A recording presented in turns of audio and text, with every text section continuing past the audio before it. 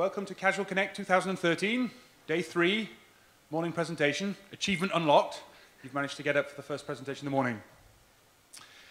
My name is Nick, and I'm going to be the MC today, and I'm going to be uh, introducing all the speakers. You don't really want to hear me speak, uh, so I'm going to keep all the introductions very short. It's my pleasure to introduce Michael, Michael Kalkowski from GameDuell. Um, it's a pleasure for a couple of reasons. One, he's a very nice guy. Uh, two, he has an awful lot of data. And three, he's been in the industry a long time. I think his company was founded in 2003. That's right. And if you like what he says, he has lots of open positions. He has looking for up to 30 developers in his studio in Berlin. So, Michael, the stage is yours. All right. Thank you, Nick. Let me take you on a little journey through the history of our industry.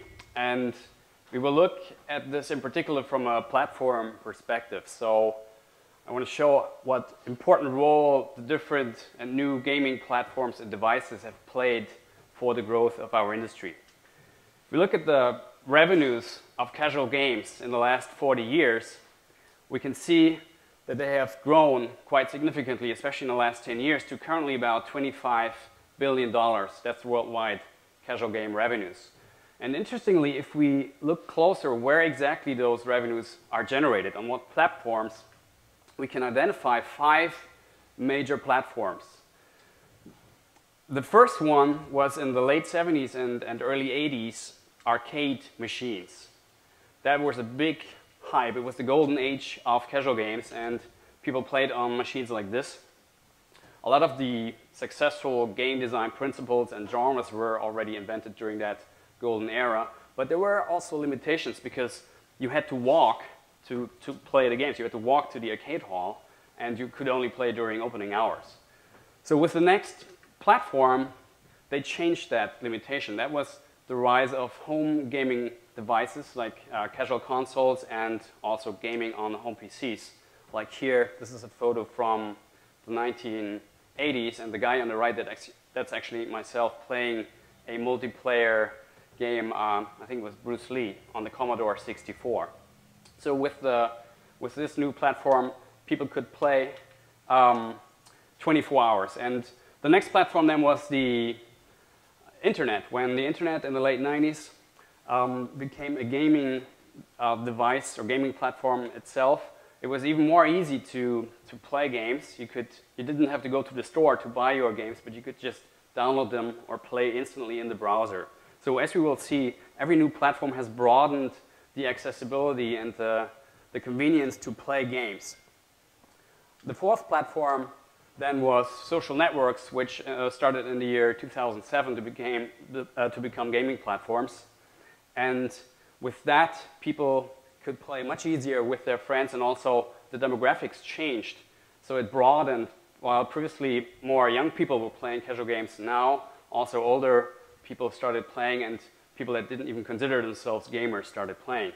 And the fifth platform, of course, that's mobile, which also started uh, around the year 2007. And with mobile, you can play now anywhere and, and anytime because you have your arcade machine always, always with you. The year 2007 is very crucial for our industry because that's uh, where both Apple introduced the first iPhone and also where Facebook launched the, the Facebook platform. And we're going to look a little bit more in detail about uh, at these two gaming platforms. we start with social networks. So Facebook itself was founded in 2004, of course, but, and here's a photo from uh, Mark in his Harvard dorm room from the early days. Um, but Facebook didn't become relevant as a game platform until the year 2007 when they opened up for third-party developers and a lot of gaming uh, companies jumped on that opportunity and also a lot of new companies were founded um, in the month following that. Zynga was founded two months after that. Uh, Playfish was founded five months after that. Um, but it took a while before the first real games appeared on the platform. So 2008, we still had a lot of apps like that, virtual gifting, uh, viral apps, game-like apps. But um, it took until 2009 until we saw the, the first real games emerge on, on the platform. And here's a breakdown of the genres from that time. And we can see that 70% of all the games of the early days were simulation games, pet games, for example. But the first big hype on the platform was farm games. Uh, a lot of companies back then developed farm games. Farm Town was a big one, um, and of course Farmville was released in, in June 2009 and became the biggest Facebook game ever in terms of users, uh, still to this day. Here you can see the, the DAU numbers from Farmville, and it peaked at over 30 million DAU in 2010. There were also a couple of acquisitions already in 2009, like um, EA bought Playfish, who also had a farm game back then for uh, 300 million. And it continued in 2010. Disney bought Playdom. And uh, the genre mix didn't change that much. In 2010, it was still, the majority of the games were simulation games, but there was a new subgenre emerging uh, in 2010, a new hype, which was city building games. A lot of companies created those city games. Uh, in particular, the most successful one that was uh, Cityville, which was released in late 2010. And here you can see the daily active user numbers from Farmville and Cityville. Cityville became the number one Facebook game uh, in 2010, but it never really got to the level of Farmville. As um, never any other game actually got to that level of Farmville. Here you can see the, the DU numbers of the top Facebook games over time, and not even the latest one at the very right, Candy Crush Saga, has been reaching those levels. Then came the year 2011, and um, a lot of interesting changes happened. There was a third hype, which was casino games.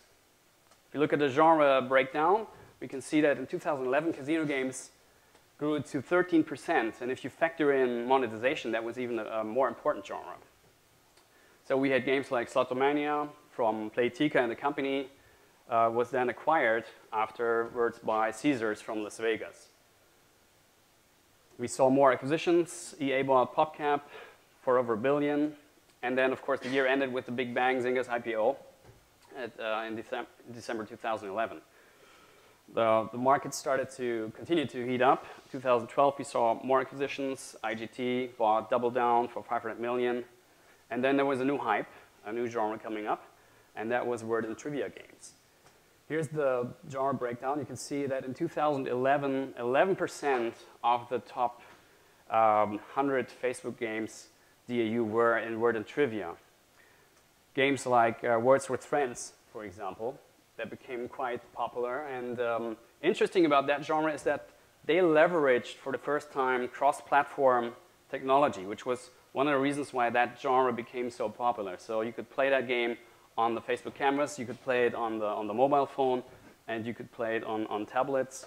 Uh, and it was all synchronized in terms of game modes and, and all the in-game um, features. And we will see that uh, cross-platform has since then been a major growth driver for the top, for the top games. Now this year has been more difficult for many Facebook and social game developers, in particular for Zynga, who had to lay off a significant uh, part of their employees. And we can also see why, because the revenues, this is the quarterly revenues from Zynga, they have dropped 30% year over year. But not all companies have been struggling. There have also been uh, some, some good success stories. So social gaming is not over. There have been examples like King, who have um, overtaken King, uh, have, have overtaken Zynga uh, earlier this year and become the number one uh, developer on Facebook. And the question is, how was that possible? What was behind the reason behind that success story? Well, one reason was uh, emergence of a new genre, which, which is the fifth hype on the social platform, and that is arcade games. If you look at the genre breakdown today, then we can see that 40% of the users of the top 100 Facebook games are playing arcade games. That's pretty impressive. And in particular, two subgenres there are, are very popular. The first one was bubble shooter games, uh, like Bubble Witch Saga. and that actually started earlier already. It's, um, in 2009, we had the first big bubble shooter, Bubbles IQ, and then there was Bubble Island, and then King launched uh, their two bubble shooters, Bubble Saga and Bubble Witch Saga, which created a huge hype in the industry. A lot of companies created their own bubble shooter games, including Zynga, and you can see here uh, in 2012, the whole bubble shooter genre went up to over 16 million daily active users. It has now been declining uh, again, but not because people don't like to play arcade games anymore. It's more because another arcade genre has emerged that is even more popular, and that is match 3 games. And we all know that game. Uh, the first match 3 game was actually, or the first big one was Bejeweled Blitz, which uh, was launched in 2008.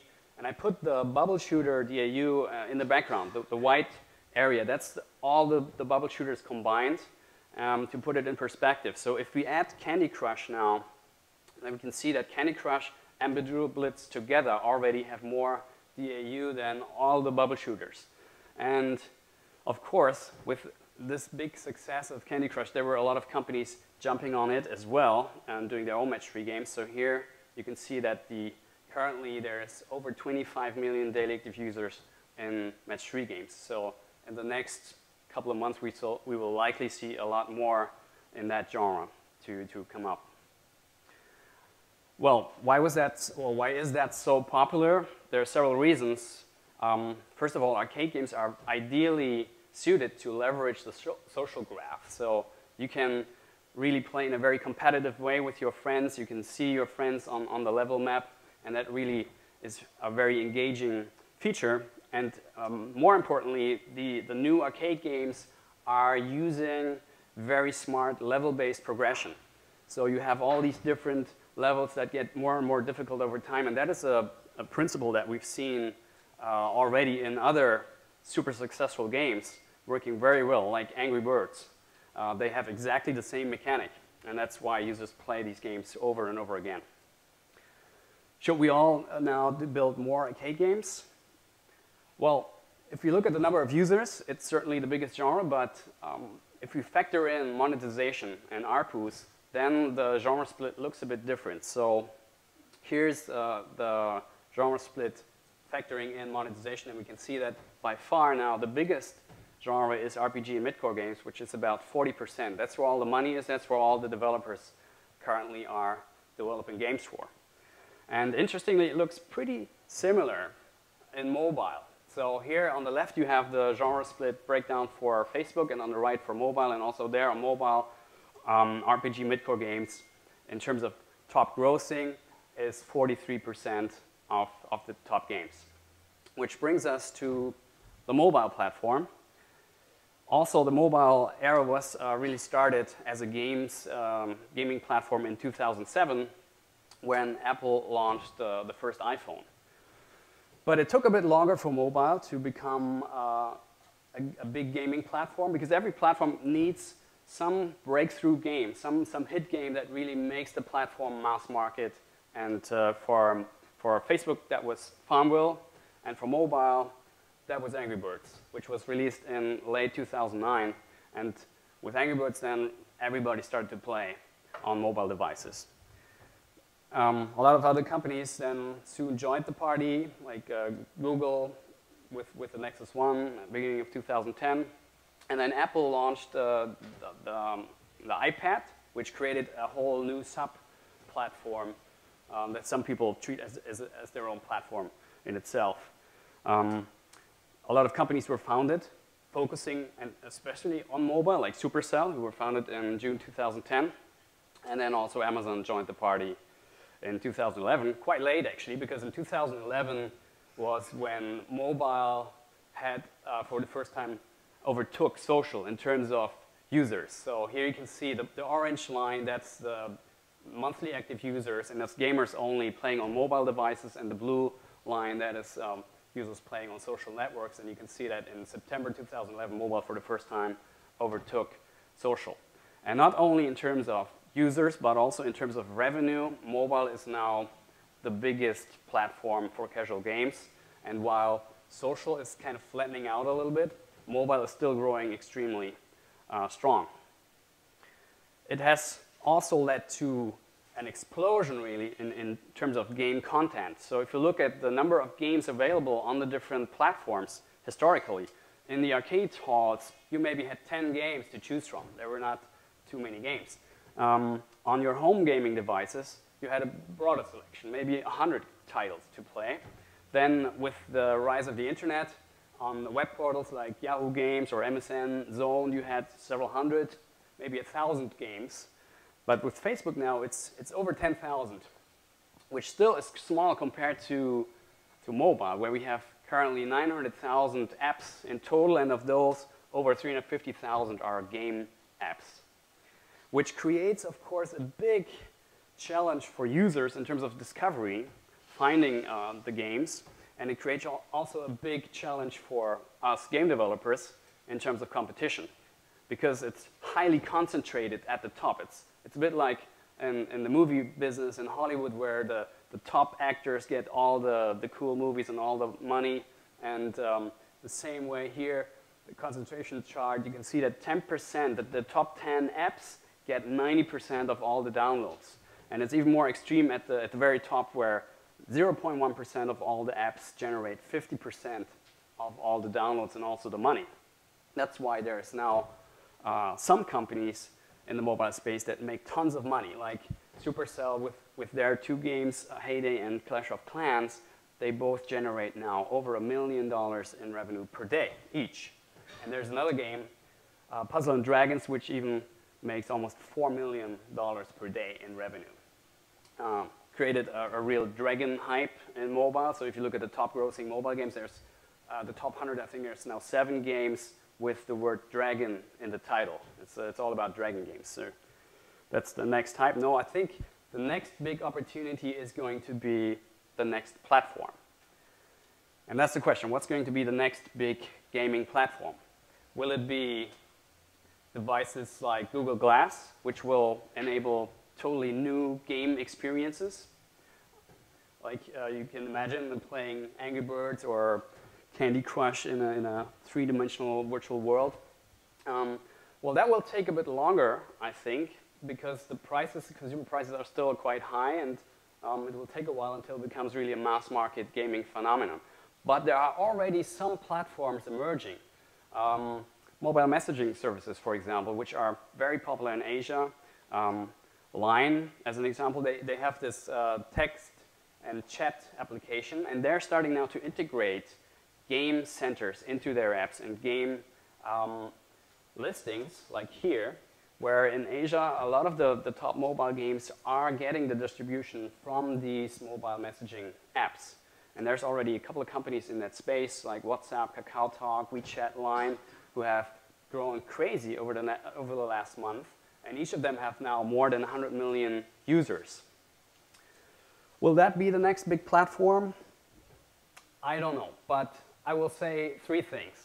Um, first of all, the, the next big platform will be emerging within the next two years because platform change is accelerating. We see more new platforms coming faster. Secondly, we will, we will see, as we have seen historically, new platforms have added revenues um, and not so much cannibalize the existing revenues. So with the next big platform, our industry's uh, revenues in total will likely grow very nicely, and that's, that's great. And thirdly, um, the big players in the space are usually quite slow to go to the new platform. So with the next big platform, we will likely see um, a new company, a small company emerging and become the next multi-million dollar gaming company. So I think it's one of the most exciting times to be in, uh, and the future looks very good for our industry. So let's, let's work on that. Like, let's work on the next platform. Thank you. we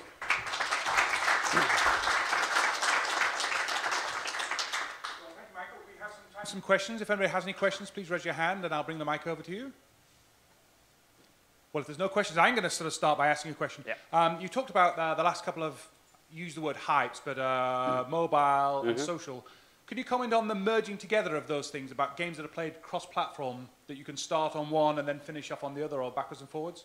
Yeah. Um, so this started really with the word and trivia genre, but now all the a lot of the big um, games that we see both on Facebook and on mobile are leveraging uh, cross-platform technology. So, um, which which makes sense because people um, we, we've seen yesterday there was a panel about um, Candy Crush and the users were talking how they play first during during the workday they play at the office at their computer and then when they go home they continue playing on the mobile phone. So we've seen games that leverage uh, cross-platform technology have a much e are much easier to grow and have a much broader user base.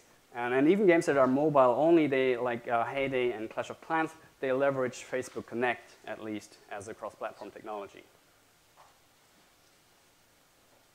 Any more questions? Oh. Go ahead.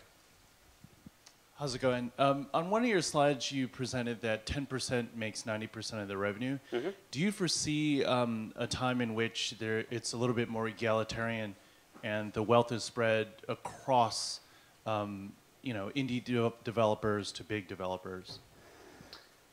Well, it's hard to say. I think it's um, that depends really on the app stores, how they how they help to bring up new games and new content. Um, at the moment, um, it's I can show and bring up the slide again here.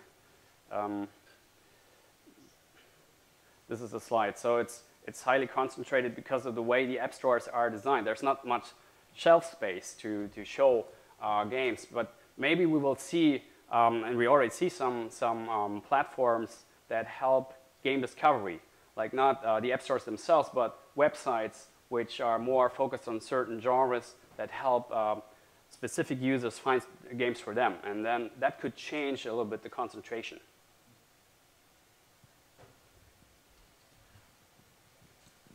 Any more questions?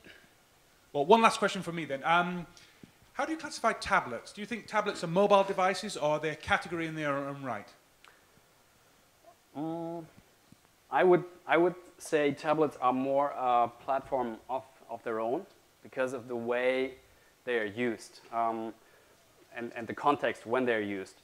We see a lot of our users who, who use their tablets at home actually um, while they sit in the living room in the evening, they watch television, but they have the tablet with them and they play um, on, or they, they, they're using several screens at the same time. With the mobile phone, it's more you're going out um, or um, waiting somewhere in, in, in, the subway. But I also heard um, mobile phones used a lot on the toilet. So people play um, mobile phone on, on, games on the toilet. But the tablet is more in the living room and, and uh, in the bedroom. So it's different use cases and uh, different audience. So I think it's, it makes sense to treat it as, as their own platform and develop games specifically for those platforms. All right. If not, well, thank you very much, Michael. That was awesome. Okay. Thank you.